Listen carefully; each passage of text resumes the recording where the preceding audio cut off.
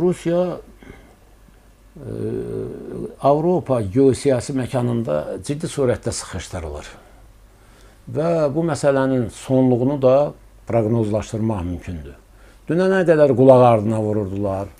Hər şeyi belə deyək, bəyaz bir donda, bəyaz bir rəngdə təqdim edirdilər. Xüsusilə alternativ informasiya mənbələrinin olmadığı Rusiya informasiya məkanında belə yalanları, belə uydurmaları yeritmək asandır.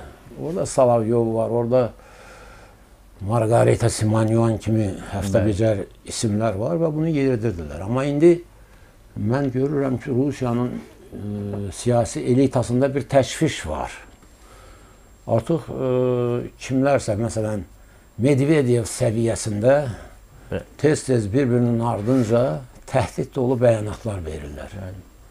Valla Medvedevin e, Rusiyada heç bir xarizması yoxdur və o da Kremlin karliklərindən hesab olunur və onun e, Rusiya ictimai rəyinə təsir edə biləcək Bəli. elə də bir imkanları yoxdur. Son Amma vaxtlarda çox belə e, şou xarakterli açıqlamalar bəli, verir. Bəli, çünki səviyyə yoxdur. Bəli. Çünki normal təhsil almayıbdı. Çox kitab oxumayıbdı və adi şuur səviyyəsində, fəlsəfədə belə bir kateqoriya var. Adi şuur səviyyəsində, kütlələrin şuuru səviyyəsində da danışmaqdan o yana gedə bilmir və bunu da edir. Amma onun hər bir danışığı Rusiyaya xal gətirmək əvəzinə Rusiyanın mövqelərinin daha da zəifləməsinə gətirib çıxarır. Bizi maraqlandıran Rusiyanın bu mövqedəki üstləndiyi, üzərinə götürdüyü missiyanı necə yerinə yetirməsidir. Yəni moderatorluğu özlərinə götürdü. Soçidə bir neçə Bəli. görüş həyata keçirdi. Amma bu görüşün nəticələrini necə deyirlər, həyata keçirmək, praktikada tətbiq etmək üçün heç bir səy göstərmədi. Hətta belə məlumat var ki, onlar Ukraynaya hücum etdikdən sonra Cənubi Qafqazda Azərbaycanla Ermənistan arasındakı danışıqlar prosesini səngitməyə çalışdılar və Paşinyanın qulağına pıçıldadılar ki, hara tələsirsiniz? Tələsməyin. E, biz ə, e, məsələnin çözülməsinin yollarını sizə deyəcəyik və o zaman da siz hərəkətə keçəcəksiniz.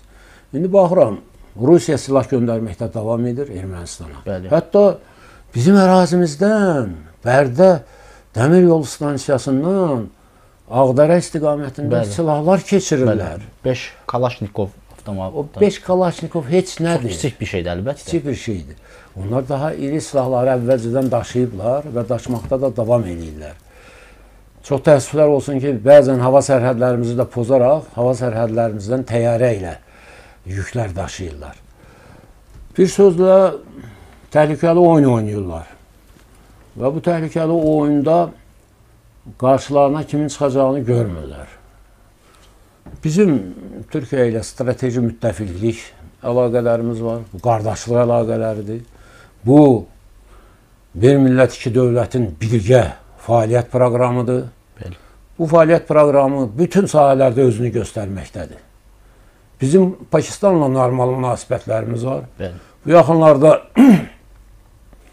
Pakistan parlamentinin sədri, Azərbaycan parlamentinin sədri, Türkiyə parlamentinin sədri üçlü bir görüş keçirdilər və üç ölkə arasında müttəfiqlik əlaqələrini möhkəmləndirmək üçün bir bəyannamə imzaladılar. Yəni bu gün bizim əvvəla Azərbaycan ordusu kifayət qədər tək başına hər şeyin ötəsindən gələ bilər. Bəli. Amma e, bölgədə hadisələrə kimsə kənardan müdaxilə etmək fikrinə düşərsə, məsələn İran kimi başı boş bir ölkənin rəhbərliyi əgər Azərbaycana e, belə təzyiq göstərmək fikrinə düşərsə, o bilməlidir ki, gözünün önünə almalıdır ki, qarşısında 40 milyonluq bir kütlənin özü də hər şeyi bilən, hər şeyi son nöqtəsinə qədər başa düşən, ciddi milli mənlik şuuruna, milli şuura malik olan bir kütlə elə öz ərazisində onun qabağına çıxacaq.